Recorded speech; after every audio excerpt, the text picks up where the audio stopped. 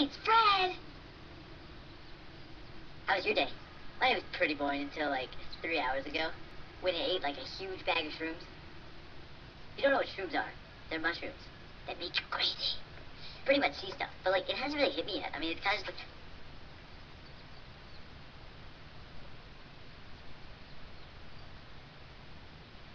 like. So earlier today, I was outside, like I am now, and all of a sudden. Wait. Since when are unicorns yellow? Hey, look, some squirrels. Just kidding, I didn't see a unicorn. There's a tiger. Lucky, who's my favorite dog in the world? God, it's such a nice day outside. Can I help you? No, I don't want you in my video. Can you go away, please? Don't threaten me like that. Hello? Oh, thank God. Someone threatened me. Who? Uh, well, he's right next to me. He's a tennis ball. I'm gonna close my eyes, and in three seconds you better be gone. One, two, three.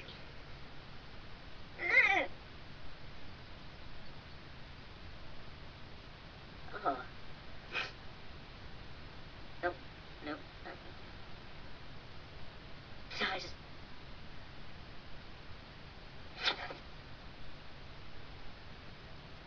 Sexual intercourse. I don't know what I'm that tree is staring at me right now. It's waving, so. he just flipped me off. My face just turned into baloney for like half a second. Who says pterodactyls are extinct? There's one right there. What? It has like a white trail behind it. I don't know why. Slow down. You're gonna hit something. I know dinosaurs don't exist. Matthew Perry.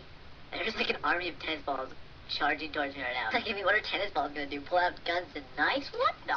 Aren't there more Z words in the alphabet? Well, that didn't even make sense. Wait, that pterodactyl is in the exact same place. It's like stuck in air. I think there's like a big wind like blowing against it, and it's like, I can't go anywhere. I'm a pterodactyl.